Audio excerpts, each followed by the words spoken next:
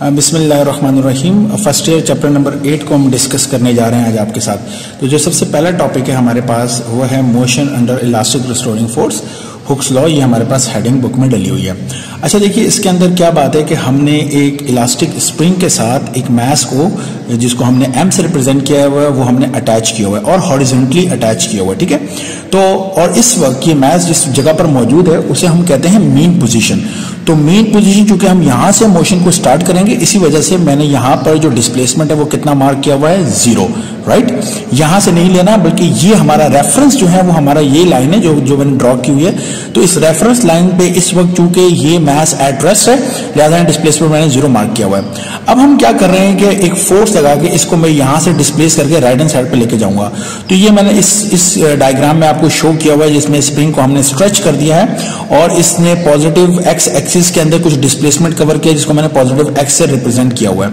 Right अब इसको मैं उठा के यहाँ से यहाँ पे ले गया। ज़ाहिर सी बात है, एक मैस को जब हम मीन पोजीशन से इस डिस्प्लेसमेंट पे लेके जा रहे हैं या एक्सट्रीम पोजीशन कह रहे हैं एक्सट्रीम पोजीशन पे लेके जा रहा हूँ then I have to apply some force वो जो फोर्स मैं अप्लाई करके इसको यहाँ पर लेकर गया, उस फोर्स को मैं न्यूटन सेकंड लॉ पे अगर, के ज़रिए अगर लिखना चाहूँ तो that will be F equals to M A ये न्यूटन के सेकंड लॉ ने हमें कहा था। कि जब भी कोई फोर्स हम अप्लाई करते हैं that is always proportional to the acceleration mass times the acceleration equals to mass time the acceleration तो इसको हम नाम दे देते हैं इक्वेशन नंबर वन का। अच्छा अब जब इस एक्सट्रीम पोजीशन में मैंने इस मैस को रखा हुआ है, और अगर मैंने इसको यहाँ पे होल्ड करके रखा हो then I will feel a force जो कि इसको वापस back to the mean position लेके जाना चाहती है। वो फोर्स जो कि वापस इसको back to the mean position लेके जाना चाहती है, उसे हम कहते हैं रीस्टोरिंग फोर्स ठीक है? इसे हम कहते हैं रिस्टोरिंग फोर्स क्या मतलब? एक ऐसी फोर्स जो कि बॉडी को रिस्टोर करना चाहती है. रिस्टोर का मतलब है back to the mean position लाना चाहती है। और वो उसको वापस खेलने जाती है? वो जो रिस्टोरिंग फोर्स थी, वो हमें किसने बताई थी? वो हमें हुक्स ने बताई थी। इसलिए ये जो रिस्टोरिंग फोर्स है this is by Hooke's law इसको हम कहते हैं हुक्स लॉ और हुक ने हमें ये बात कहा था कि वो फोर्स जो कि इसको वापस back to the mean position लाना चाहती है, वो फोर्स ऑलवेज प्रोपोर्शनल होती है किसके? माइनस के एक्स के। इक्वल कह लें इक्वल माइनस के एक्स के यानी ये जो फोर्स है, इस फोर्स का ताल्लुक किसके साथ होता है? डिस्प्लेसमेंट के साथ होता है। देखिए, ऊपर जो न्यूटन का लॉ था, उसमें फोर्स की रिलेशन एक्सेलरेशन के साथ थी। जबकि हुक्स लॉ आपको ये डिफाइन करता है कि जो फोर्स है दैट इज़ प्रोपोर्शनल टू या उसका ताल्लुक किसके साथ है?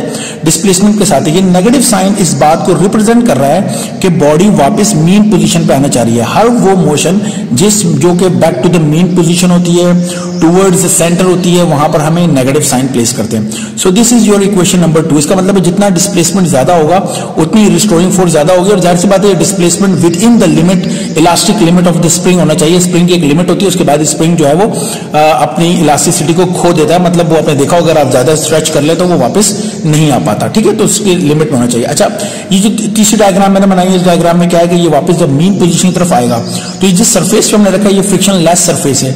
लिहाजा ये सेंटर की तरह जानब आते हुए, चूँकि जितना ये सेंटर की जानब आता रहेगा, इसकी स्पीड इंक्रीज होती रहेगी। और जैसे ही ये अपनी मीन पोजिशन में पहुंचेगा, ये सेंटर पर पहुंचेगा तो यहाँ पे इसके ऊपर ये जो फोर्स है, ये ज़ीरो हो चुकी होगी। रिस्टोरिंग फोर्स कितनी हो जाएगी? ज़ीरो हो जाएगी राइट लेकिन चूँकि ये फ्रिक्शन लेस सरफेस पे रखा हुआ है तो इसमें इनर्शिया जैसे जैसे मीन पोजीशन की तरफ़ जाएगा, इसका इनर्शिया इंक्रीज होगा। तो मीन पोजीशन पे इसका इनर्शिया बहुत ज़्यादा हो जाएगा इनर्शिया इसको रोकने नहीं देगा, और ये रुकते रुकते आगे जाते जाते स्प्रिंग को इस तरह कंप्रेस करेगा, और ये डिस्प्लेसमेंट कवर करेगा। By the way this positive X and this negative X are equal लेकिन वो मेरे पास डायग्राम थोड़ी सी ऐसी बन गई है बट आई बिलीव कि यू कैन अंडरस्टैंड कि this negative X and this positive X are equal in magnitude ये जो ये जो थोड़ा बहुत फ़र्क है, ये सिर्फ़ डायग्राम की वजह से, क्योंकि अगर ये फ्रिक्शन लेस सरफेस है तो ये पॉजिटिव एक्स और negative X must be equal अच्छा ये इस तरफ़ कंप्रेस हो जाएगा, ज़ाहिर सी बात, इस तरफ़ जाते जाते जब ये कंप्रेस होगा तो यहाँ पहुँचते पहुँचते ये रिस्टोरिंग फोर्स फिर मैक्स हो जाएगी. और उसके बाद ये दोबारा से इसको रिस्टोरिंग फोर्स इसको वापस पुश करेगी टुवर्ड्स द मीन पोजीशन चूँकि ये फ्रिक्शन लेस सरफेस है तो टू एंड फ्रो मोशन आगे और पीछे to and fro motion start हो जाएगी. लिहाजा अच्छा इक्वेशन नंबर वन की left hand side and two की लेफ़्ट हैंड साइड दोनों लेफ़्ट हैंड साइड इक्वल है तो दोनों की राइट हैंड साइड को कंपेयर कर लें। वन की जो राइट हैंड साइड है, यानी इक्वेशन नंबर मैं कंपेयर कर रहा हूँ, मैं लिख देता हूँ कंपेयर कर रहा हूँ equation number one and two को वी गेट हमें क्या चीज़ मिलती है? देखिए, इसकी जो राइट हैंड साइड है, वो है एम ए और इसकी जो राइट हैंड साइड है, वो माइनस के एक्स है। एग्रीड अच्छा ए को यही रहने दे एम मल्टीप्लाई और इक्वेशन दूसरी तरफ़ जाकर क्या हो जाएगा? डिवाइड तो minus K upon M into to x मेरा ख्याल एक आसान किस्म की बात है। अच्छा अब क्या during the motion during the motion जब ये मोशन करेगा, ये मैस इस स्प्रिंग के साथ, क्या स्प्रिंग चेंज होगा? नो स्प्रिंग तो वही रहेगा। क्या ये मैस चेंज होगा ड्यूरिंग द मोशन तो क्लासिकल जो मैकेनिक्स है, ये क्लासिकल जो फिजिक्स है, वो ये बिलीव करती है कि जो मैस है, वो during the motion remains constant तो ये एम भी जो है, ये कॉन्स्टेंट रहेगा राइट तो जो के है और एम है, ये दोनों कॉन्स्टेंट हो गए तो हमारे पास जो ए है that is equal to minus और मैं इसको लिख सकता हूँ कांस्टेंट इन टू एक्स मेरा ख्याल ये आसान किस्म की बात है। तो इसमें हमने क्या बात बताई है कि के भी कांस्टेंट है एम भी कांस्टेंट है तो दोनों कांस्टेंट्स को आप डिवाइड करोगे तो you will get another constant इसको मैं तो मैंने कांस्टेंट लिखा हुआ है। जब भी किसी इक्वेशन में से हम कांस्टेंट को खत्म करते हैं, हमें इज़ इक्वल टू भी खत्म करना होता है, क्योंकि हमने पढ़ा हुआ है कि जो कांस्टेंट होते हैं, वो कांस्टेंट ऑफ़ प्रोपोर्शनैलिटी होते हैं। जब भी प्रोपोर्शनैलिटी को हटाते हैं तो इज़ इक्वल टू लगाते हैं, फिर कांस्टेंट प्लेस करना पड़ता है। तो आज अगर मैं क्या कर रहा हूँ, मैं इस कांस्टेंट को खत्म कर रहा हूँ तो मुझे इज़ इक्वल टू खत्म करके प्रोपोर्शन लिखना पड़ेगा। माइनस ये कांस्टेंट मैंने खत्म कर दिया तो इज़ इक्वल टू भी खत्म हो गया। और मैंने क्या लिखा? एक्स ये मेरे पास एक प्रोपोर्शनैलिटी एक रिलेशन मेरे पास बन गई है। And this is one of the most important relation ये रिलेशन आपसे क्या कहती है क्लास ये रिलेशन आपसे कहती है कि this is a definition of S H M ये किसकी डेफिनेशन है? एस एच एम की।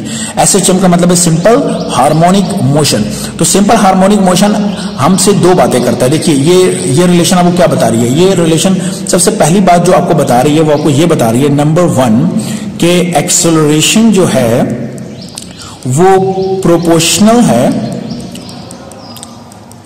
टू डिस्प्लेसमेंट किसके प्रोपोर्शनल है? डिस्प्लेसमेंट के प्रोपोर्शनल है।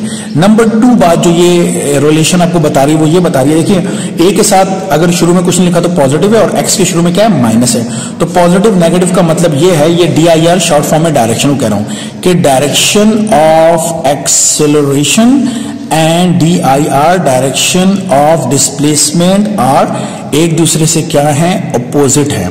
ये याद रखिएगा कि this is the definition of S H M अगर कभी आपसे कहेंगे what is the definition of S H M तो आप बताएँगे S H M is a motion in which the acceleration is directly proportional to the displacement and a motion in which the direction of the acceleration and the direction of the displacement are opposite to each other. This is called SHM right? अच्छा अब एक बात और याद रखें derivations के लिए हमने बहुत सारी डेरिवेशंस करनी है। जब कभी आपसे कहे prove the motion is SHM आपको ए प्रोपोर्शनल माइनस एक्स बना के दिखाना है। दैट्स इट ये जो डब्बा है, ये बनाने में अगर आप कामयाब हो गए देन यू कैन प्रूव कि जो भी मोशन आपसे वो कह रहा है, वो मोशन एसएचएम है। मिसाल के तौर पर बोले कि सिंपल पेंडुलम की मोशन को प्रूव करें कि वो एसएचएम है।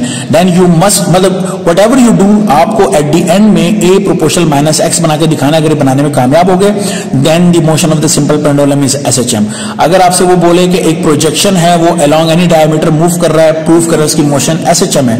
Whatever you do you have to make A proportional minus X अगर आप ए प्रोपोर्शनल माइनस एक्स बनाने में कामयाब हो जाते हैं तो आप ये प्रूव करने में कामयाब हो जाते हैं कि जो मोशन है, वो क्या है? एस एच एम है। ठीक है? तो ये एस एच एम की डेफिनेशन थी, इसके बाद हम अगला टॉपिक शुरू करते हैं।